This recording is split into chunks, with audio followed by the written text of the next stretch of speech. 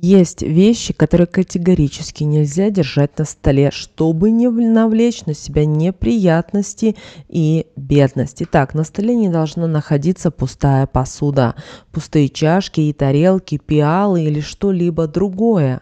Пустая посуда на столе притягивает бедность и финансовые проблемы в семью. Пустая посуда всегда должна быть чем-то заполнена. Нельзя оставлять и грязный, и неубранный стол, даже если у вас был и тяжелый день, и вы устали. Либо в доме было много гостей, и тяжело все было убрать за один вечер. Делайте не спеша и сколько потребуется времени. Стол должен остаться чистым. Если вы решили оставить фруктовницу или конфетницу на столе для украшения дома, она всегда должна быть полная. Ваза на столе всегда должна быть цветами. Все это символы достатка, и таким образом ваш дом будут только притягиваться деньги и благополучие. А чтобы усилить этот эффект, положите под скатерть купюру любого номинала и под купюру лавровый лист. Ключам также не место на вашем столе. Они могут закрыть дверь денежным потоком, привлечь в дом бедность и нищету. Ключи на столе также предвещают и ссору в доме, либо дальнюю дорогу в скором будущем, которая будет полна неприятностей. Их вообще не нужно класть где попало. У них должно быть свое место в доме, лучше, если у них будет персональный дом, это ключница. Еще вещами, которые не стоит класть на стол, является сумка, рюкзак, барсетка. Когда вы ходите по улице с этими вещами, на них смотрят люди, прикасаются к ним в транспорте. Люди бывают разные, таким образом эти вещи напитываются негативом, а вы приносите весь этот негатив и плохую энергию и ставите это на такой важный предмет в доме, как стол. И такое действие может разрушить ваше семейное благополучие. Оставлять деньги и кошелек также не стоит на столе. Это притянет к вам в дом финансовые проблемы и разлады вашу семью, а в будущем вас будут ждать большие расходы и вам придется потерять все ваши накопления. Ножи и другие предметы, которые режутся или имеют зубья, не стоит, не стоит также оставлять на столе. Особенно нож нельзя на столе оставлять лезвием вверх. Считается, что нож предназначен для того, чтобы разрезать продукты.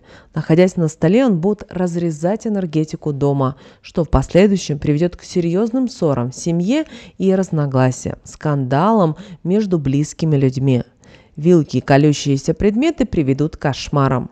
Лучше убирать такие предметы в специально отведенные места, чтобы не, на, не навредить себе и энергетике дома. Головным убором также не место на столе. Это приведет к безденежью. Их нельзя кидать на стол, так как вы этим показываете неуважение к столу и можете навлечь неприятности на всю семью и большие ссоры. В древние времена за такой поступок даже выгоняли из дома, чтобы неприятности не напали уже на всю семью. Оставленная на столе расческа принесет вам позор и стыд, и такая ситуация произойдет с вами в самый неожиданный момент. Вы можете попасть в неприятную ситуацию, связанную со сплетнями. Ваза на столе с цветами – это очень хороший символ. Он притягивает деньги, стабильность, счастье и благополучие в дом. Когда вам подарили букет и вы увидели, что он начинает подсыхать, сразу уберите его со стола, а лучше сразу и из дома. Сухие цветы притягивают в дом плохую и неблагоприятную энергию. Также не стоит засушивать цветы и держать их потом в вазе. Есть такие сухоцветы, которые поглощают человеческую энергию. Можно держать только сухоцветы, которые вы принесете из церкви или купите в великий церковный праздник. Такие цветы, наоборот, будут приносить гармонию и подпитывать ваш дом положительной энергией и счастьем. Обеденный стол – это главный предмет в вашем доме, и к нему нужно относиться бережно, аккуратно и внимательно. Также ваш стол должен быть накрыт красивой скатертью.